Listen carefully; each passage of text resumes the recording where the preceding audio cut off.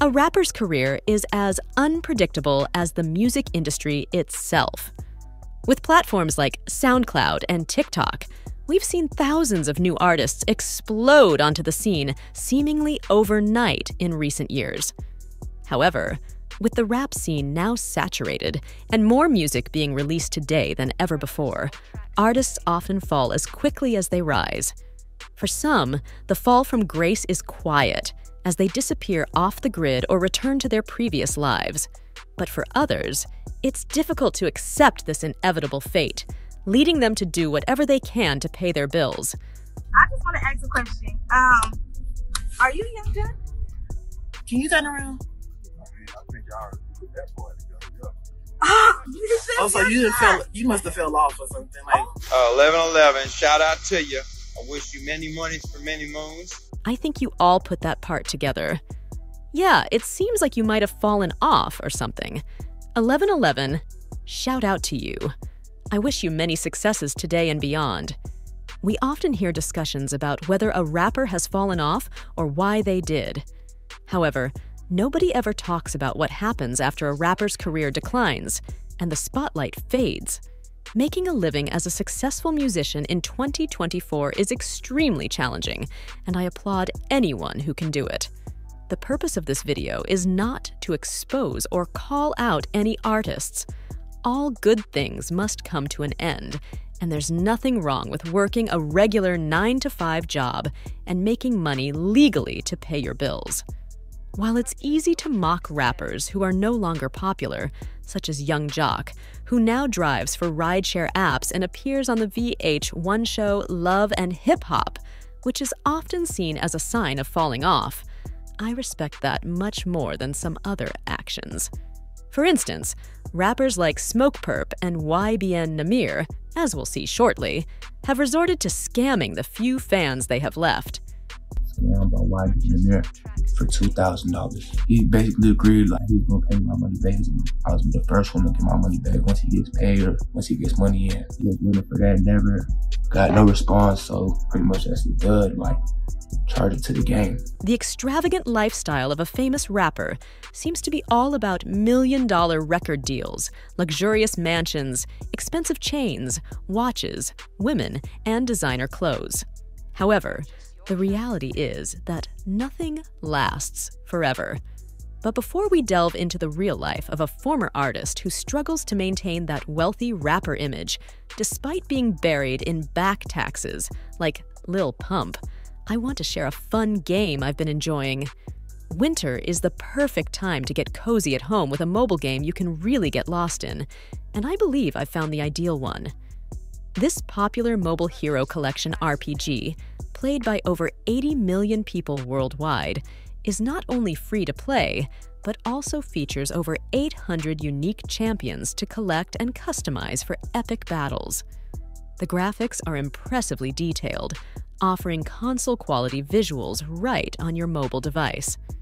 If you enjoy collecting characters and having a great time with stunning gameplay, make sure to click the link in the description or scan the QR code on the screen to download Raid Shadow Legends today. As we approach the heart of winter, Raid offers a variety of icy cold champions to bolster your squad. My favorite has to be Warm Frost King, not just because of his cool appearance, but also because he's fantastic for early and mid game players needing extra support in the arena. Alternatively, there's Sir Nicholas of the Sacred Order, a Void legendary champion. Sir Nicholas is already top tier, with skill multipliers that allow him to deal heavy damage, and a secondary skill that places a valuable shield based on damage dealt. Alongside these incredible characters, Raid is also delivering a massive holiday present. The Cursed City is one of Raid's biggest updates since the Doom Tower, featuring 100 stages, including challenging levels where you must face two bosses simultaneously. If you haven't started playing Raid Shadow Legends yet, now is the time click my link in the description or scan my QR code, and you'll receive two epic champions available only through my link. The first is Lightsworn, a powerful epic champion, and the second is Epic Juliana after reaching level 15. Once you're in and conquering enemies, find me under the username 1111 with three N's. Join my clan, and I'll see you on the battlefield. Considering rappers often have huge egos and can't bear the thought of being seen working a regular job, it begs the question what do rappers do when they fall off? To answer that, we first need to define what it means to fall off, because there are definitely different levels to it. According to the Urban Dictionary, to fall off in the rap world means to disappear from the public eye, either due to not releasing new material, releasing poor quality work, or selling out. Many fans today might say that artists like DaBaby, Chance the Rapper, or Roddy Ricch have fallen off.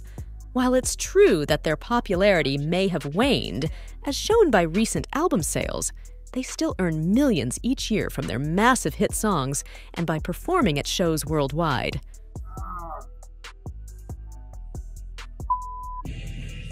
Hey yo, what happened to your leg? I was at the top and I fell off. The same goes for an artist like B.O.B., who, aside from his flat earth theory, hasn't been in the spotlight for nearly a decade. Yet, with massive hits like Airplanes, Headband, Nothing on You, Strange Clouds, and Magic, it's clear he's financially secure. Soulja Boy, even though his music career has seen better days, is still earning significant money from his iconic tracks. So that number, it was like a subscription, like, you know what I'm saying? Like you could text it or call Yeah. it. And, and you know what I'm saying? So I'm probably making like a hundred thousand a month off of that, just people calling that number. Even rappers with just one big hit, like Sheck Wes with Mo Bamba or CJ with Whoopty, could be set for life if they've managed their finances well. These tracks were massive mainstream successes. So while you won't see DaBaby working at a fast food joint, you might spot a smaller artist like Icy Narco, who is reportedly working at Bojangles. However, there's nothing wrong with hustling to make ends meet, especially considering how little artists earn from streaming revenue. To put it into perspective, Spotify pays an average of only $0.003 to $0.005 per stream, which is relatively high among streaming platforms, but still less than a penny per stream. For instance, take Dessy Hinds from Pro Era. His 2023 Spotify stats show 550,000 streams, which amounts to roughly $2,000. While other platforms like Apple Music add to the total, it's clear that the real money for artists comes from ticket sales and merchandise. However, if you're a rapper who's fallen off, like Smokepurpp, it becomes challenging to sell tickets or merchandise, leading to viral clips for all the wrong reasons and furthering the narrative of decline. When you sign with a record label, you lose ownership of your music, and the label takes a substantial cut of your earnings. Despite the enticing multi million dollar advances offered by labels, the music industry can be a trap. Here's what motherfuckers don't understand about labels. You're taking their money. You're not gonna make a cent until everything you do pays them back that $10 million. Typically, when a rapper signs a record contract, they receive an advance, which can amount to millions of dollars. However, this isn't free money. It's a loan that the label expects to recoup from the artist's revenue.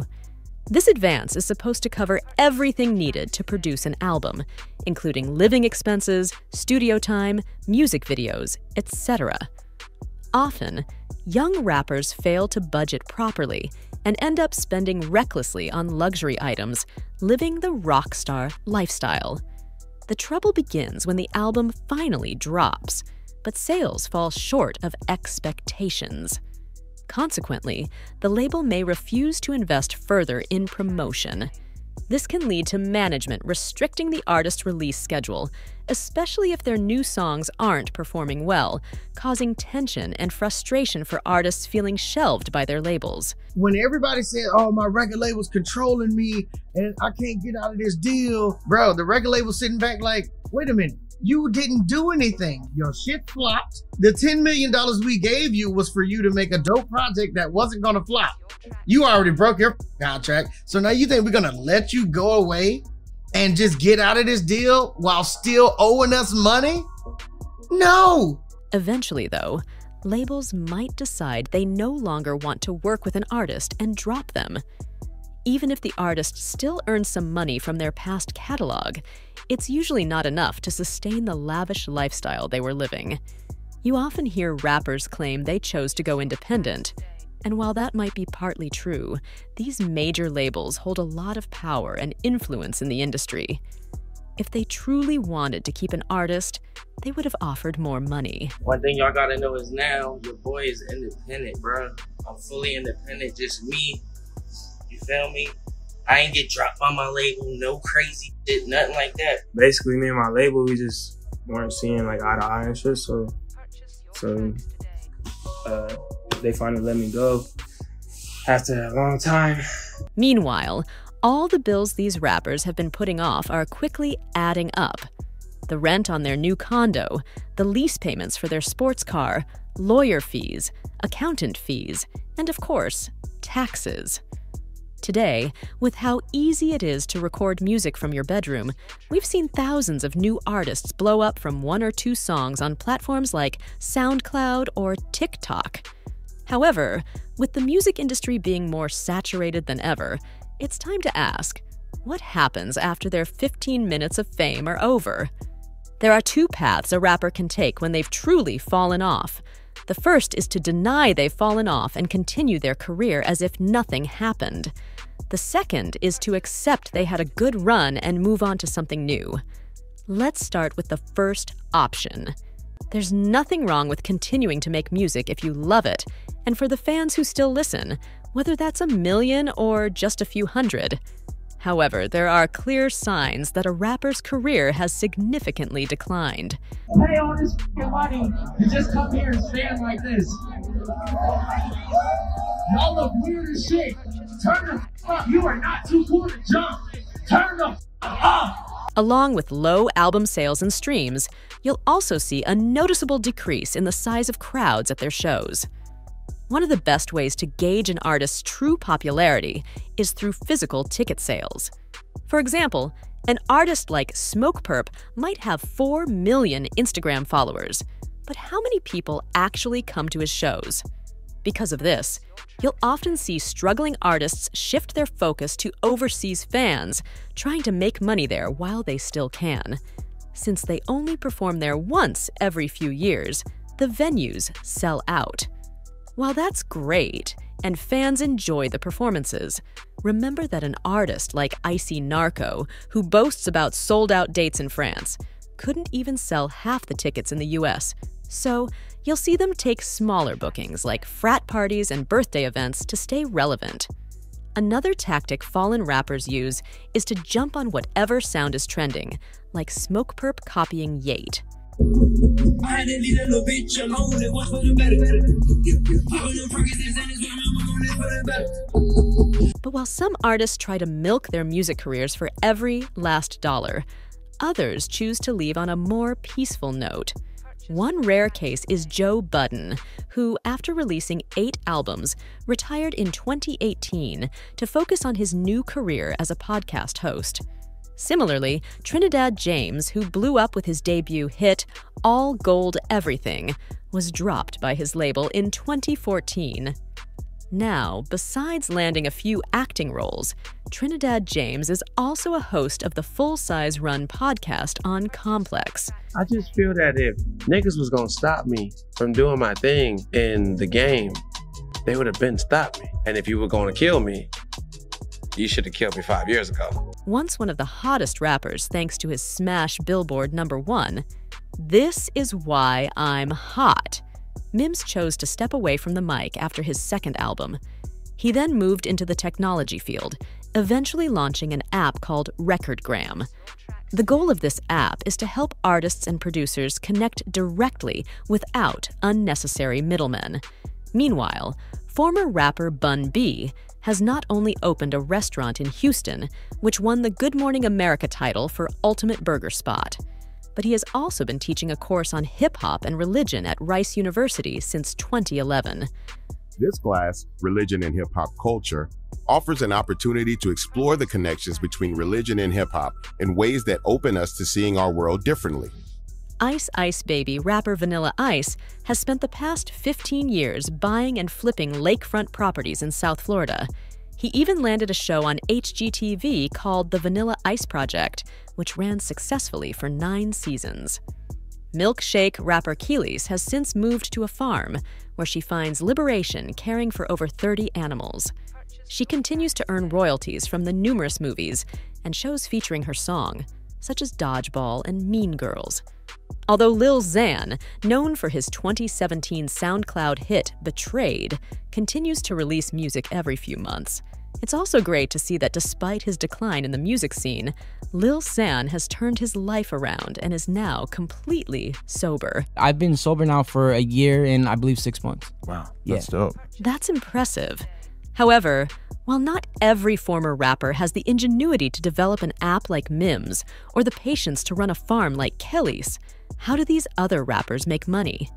With criminal backgrounds and face tattoos, it can be challenging for rappers to find regular jobs after their music careers fade. As a result, one of the most common ways they earn money is by promoting products on social media. From tagging clothing brands like Fashion Nova to spamming reposts and advertisements in their stories, many artists turn to these methods.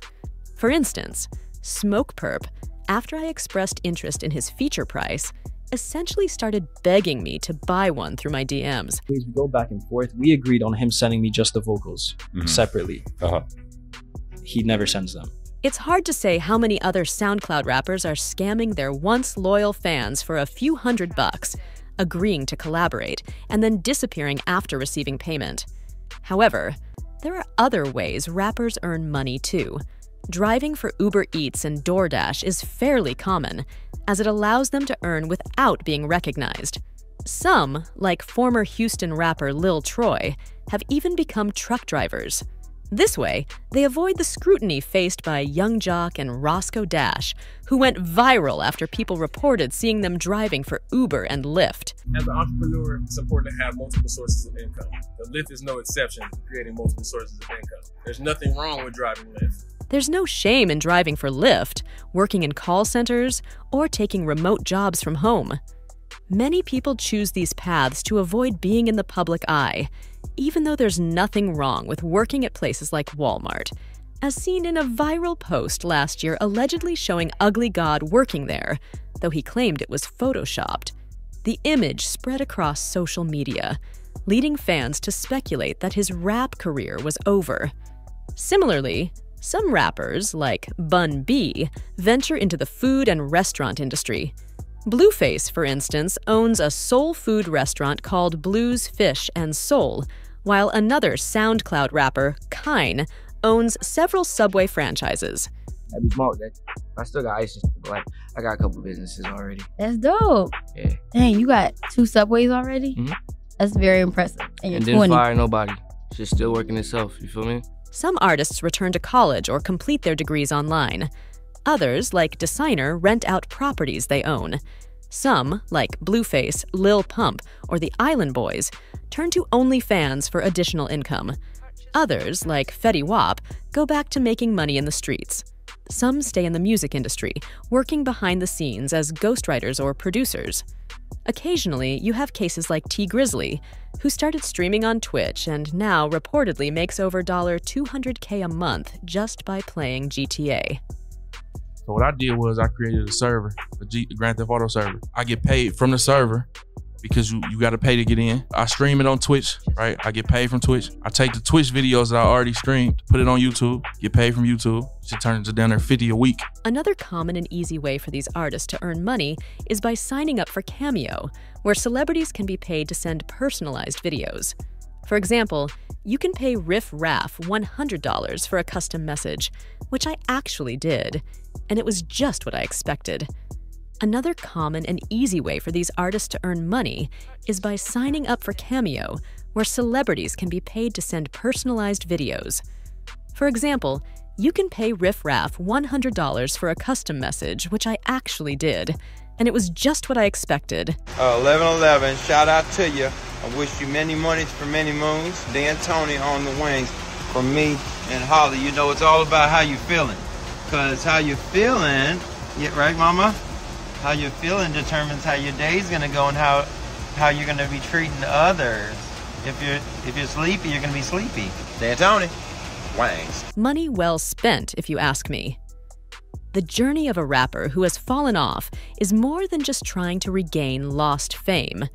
For some, it's about finding themselves again and embracing new opportunities beyond music. Because one thing's for sure even when the music stops, the story continues. Drop your thoughts in the comments below, like share, and then check out this next video.